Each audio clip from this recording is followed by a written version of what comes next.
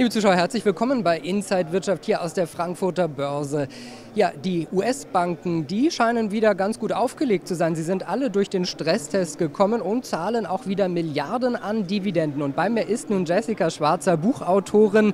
Ist die Krise für die Banken endgültig vorbei? Ja, das kann man so sagen. Die Fed hat den 34 größten US-Banken quasi attestiert, dass sie durch die Krise durchgekommen sind, dass sie besser sogar dastehen als vor der Finanzkrise. Sie haben ein verbessertes Risikomanagement. Sie würden heute eine harte Rezession relativ unbeschadet überstehen, zumindest nicht wieder in Schieflage geraten. Eine sprunghaft ansteigende Arbeitslosigkeit wäre auch, stand jetzt, kein großes Problem. Das ist also definitiv ein gutes Zeichen.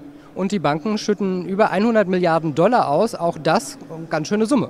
Ja, allerdings, das ist natürlich super für Anleger. Die können sich freuen, vor allem jene, die schon vielleicht vor ein paar Wochen, Monaten eingestiegen sind bei den US-Aktien. Klar, die Börse feiert die Stresstests und die Dividendenerhöhung natürlich auch.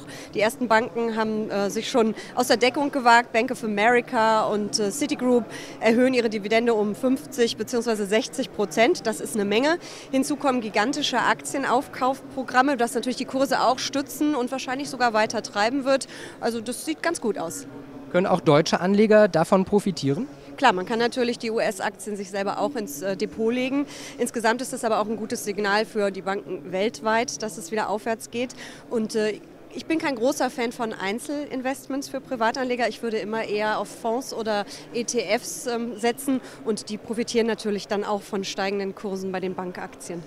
Jessica Schwarzer, Buchautorin. Vielen Dank, dass Sie da waren und Ihnen, liebe Zuschauer, danke fürs Zuschauen. Schauen Sie auch auf unsere Webseite insight-wirtschaft.de und liken Sie unsere Social-Media-Kanäle.